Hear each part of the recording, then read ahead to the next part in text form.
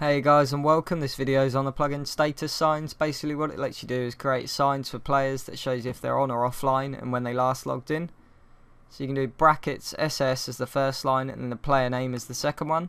And as you can see I'm currently online.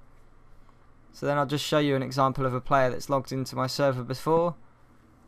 So first line SS and then his name on the second line. Obviously you'll recognise his name from other videos, Evening Light. Then I just press done and you can see there's a date displayed from when he was last logged on and a time. So obviously it can be harder to figure out this way. There is two ways you can do it in the config. You can also display it with the times since they were last on, which I'll show you in a second. So here's a little wall. Above this I could just have the word ops and you can see when the ops were last online and who is online out of the ops. So I'll quickly show you the other example.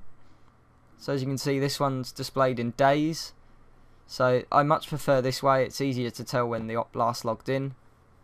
So SS and then the player name again. So obviously this could be my op wall and it'd show when the op was last logged on so you can see one day ago. And this is actually the default config for it as well. So I really like this plugin, I think it's great to show an op wall or things like that. There'll be a download link to it in the description below and as always guys please remember to rate, subscribe and comment. Cheers!